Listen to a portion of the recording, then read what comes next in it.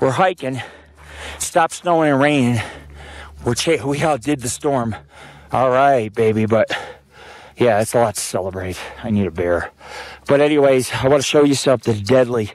That rift or that beveled edge you see on the ridge is a lot of snow hanging over, you know, six, eight feet deep, and it's overhanging.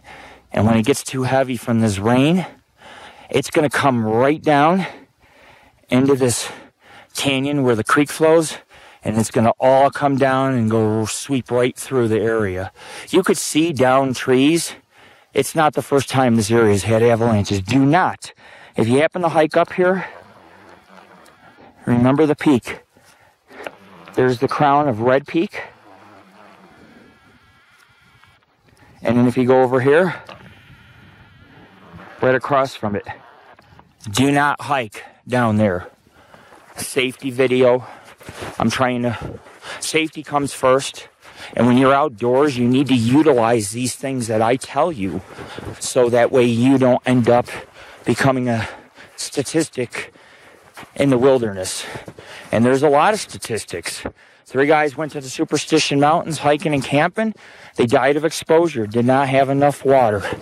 In cases like this, you could die in an avalanche. They'll never find you until spring when it starts to melt.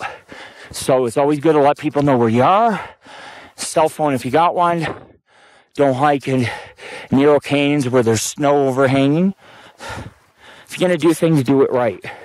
And of course, I want to teach people, and they have to come in order to learn this kind of stuff because someday they may need to utilize this.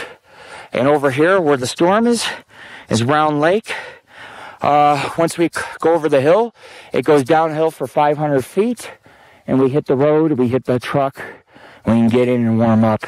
Frostbite's setting in on my two toes. Um, I can't feel them. They're cold. They're wet. They've been through deep snow, but trials and tribulations. That's what paranormal investigating is about. Trials and tribulations. It paid off. We got the evidence we needed today to prove that something is paranormal is happening here in this, in this bowl-like valley. Anyways, I gotta go. Peace. I'm out of here. Got the storm behind me. We've outbeat the storm, and I'm out of here.